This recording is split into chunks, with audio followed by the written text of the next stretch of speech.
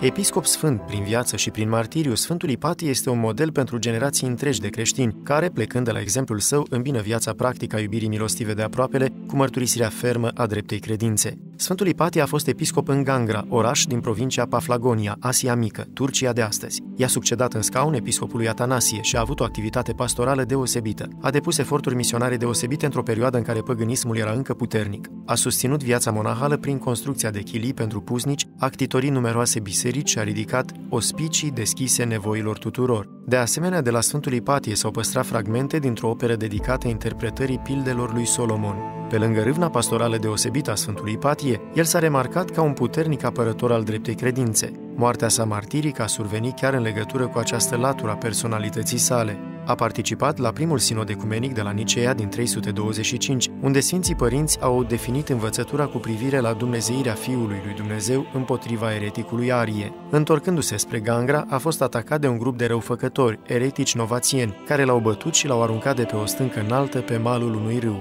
Cu ultimele puteri, Sfântul Ipatie, precum Mântuitorul, a cerut bunului Dumnezeu iertare pentru ucigașii săi. A arătat prin aceasta înalta sa viețuire duhovnicească și iubirea evanghelică de vrăjmași.